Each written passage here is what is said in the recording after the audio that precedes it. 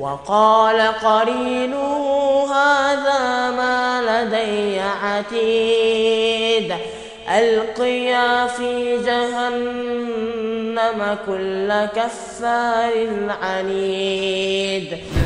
انتظروا على قناة اعرف دينك على اليوتيوب في برنامج أجيال المستقبل مع مازن يسري.